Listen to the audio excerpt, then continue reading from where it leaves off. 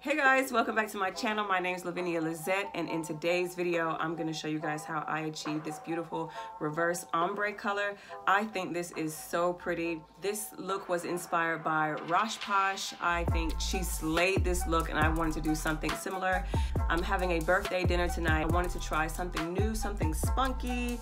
You know, your girl's a year older and I just wanted to try something a little new and I love how this turned out. So if you're interested in seeing how I achieve this beautiful color, Stay tuned. All right, and I'm starting with Adore Semi-Permanent Hair Color in Black Velvet.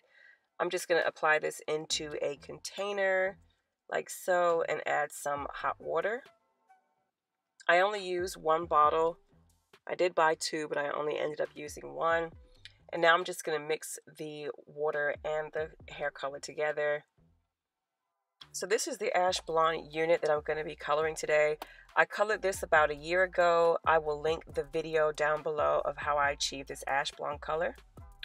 So all I'm going to do now is dip my ends into the water well the water and the color and what I did was I made sections in the wig so I only did section by section and what I did not like about this is as you see the black is not like black black it's kind of like a gray type black so I was thinking maybe I should have poured both bottles of hair color into the water.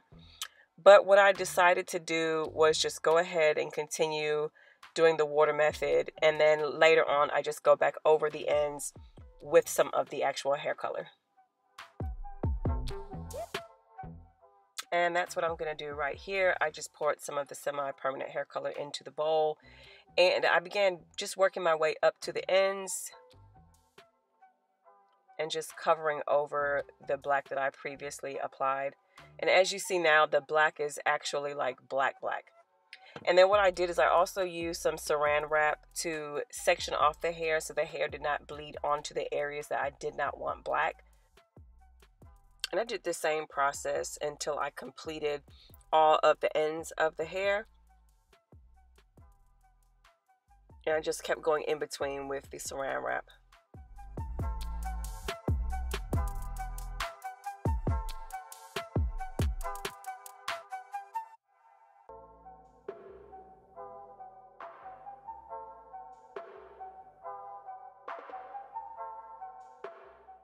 So now the color's been rinsed out. I'm just going through and blow drying the hair. And now I'm going to set my part, which I just sprayed some water and conditioner on the part and dried it in the direction I wanted the part. And then I went over it with my hot comb. So right now I'm adding some heat protectant to the hair and I'm going to do some pin curls. If you guys are interested in seeing how I do my pin curls, I will leave a full tutorial down below on how I do my pin curls. I did record a previous video of me doing pin curls and I quite like these because the curls last such a long time. They start out tight, the longer you wear them they become looser. I really like it.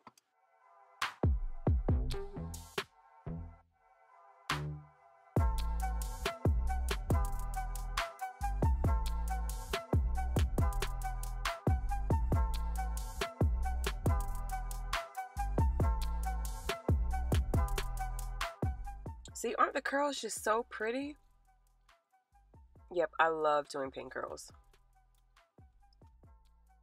So now I'm going to apply my wig. I have already applied some Got2b Glued and I'm just going to press my lace right into that glue all around my hairline. I'm also adding a little bit of freeze spray for them areas that just don't want to stick. And this just kind of helps it all just blend into place. And the wig is secure. Do y'all see these curls? Do you see why I say I love pin curls? Yes, honey. So right now I'm just playing around with the hair to see if I really like this color and just trying to get my curls just to lay the way that I want them to lay. But I actually like how this turned out. I love the color, the combination. It looks really pretty.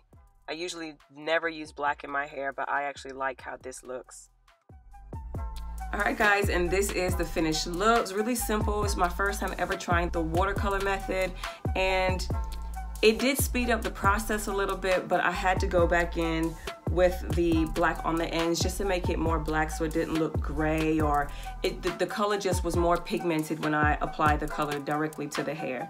This was quick and easy. I do love how this turned out. If you're interested in seeing a full tutorial on how I achieved the ash blonde on top, I'll link the video down below. And if you're also wanting to see how I did these pin curls, I'll also link another video down below showing you how I did my pin curls. So guys, I hope you enjoyed this video. I hope you like how this turned out. I am going out tonight and celebrating my birthday with family and friends. I'll show you guys my outfit for the night. If you're interested in this hair type, this is the Platinum Blonde from Posh Life Hair. Hope you guys enjoyed this tutorial. Please don't forget to hit the subscribe button and come follow me on Instagram at I am Lavinia Lisette and also follow my hair page at Posh Life Hair. Thank you guys so much. I hope you guys enjoyed. I'm gonna go out now and celebrate my birthday. Bye.